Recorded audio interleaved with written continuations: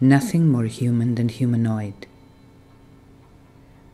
Durch die Erschaffung von Robotern lebt sich der Mensch erst als Mensch aus. Ishiguro Hiroshi Wir lieben Maschinen, wir leben, haben Sex und sterben mit Maschinen. Menschen gehen sehr schnell emotionale Beziehungen zu Humanoiden, Chatbots, Mindclones etc. ein sprechen schon mit smarten Lautsprechern wie mit Familienmitgliedern, Freundinnen.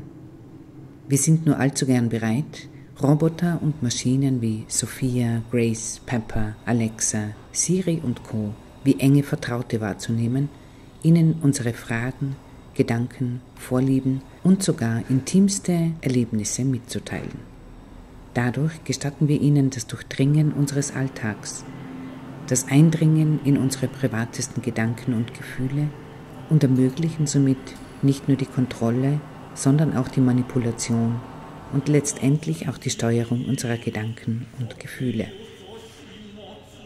Aber wenn es nach einem namhaften Hersteller von Humanoiden geht, brauchen wir uns um die Zukunft keine Sorgen zu machen. Wir bauen erstaunlich ausdrucksstarke, lebensechte Roboter, die vertrauensvoll und engagiert Beziehungen zu Menschen aufbauen, die dienen, unterhalten und lehren.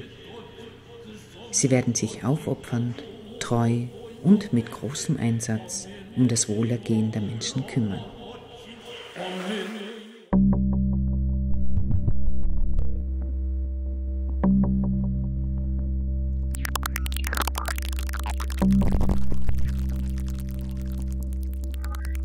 Thank